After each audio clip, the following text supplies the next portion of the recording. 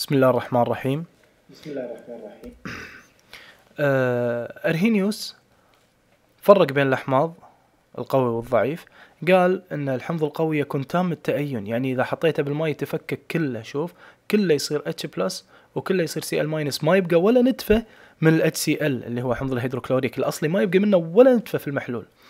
بينما الحمض الضعيف ما يتفكك كامل ما يتأين كامل قليل التأين.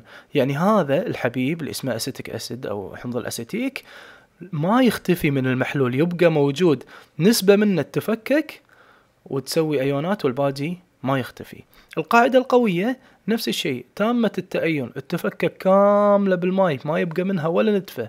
تصير كلها أيونات ما بين كاتيون وما بين آه، اللي هو الأنيون. زين. أما القاعدة الضعيفة قليلة التأين لا. يكون تكون القاعدة موجودة باجي منها شوية في الماء لأنها ما تفككت كاملة. درجة التأين قال لك هي عدد المولات المتأينة على عدد المولات الكلية. يعني إيش كثر تأين؟ من الأصلي.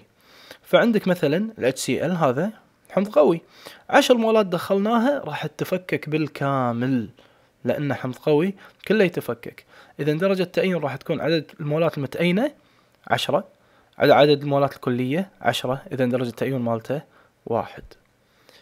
ولو يبنى حمض ضعيف مثل حمض الأسيتيك مثلا حمض الخل أه حطينا منه عشر مولات اللي بتفكك منهم مثلا راح يكون ثلاثة مثلا.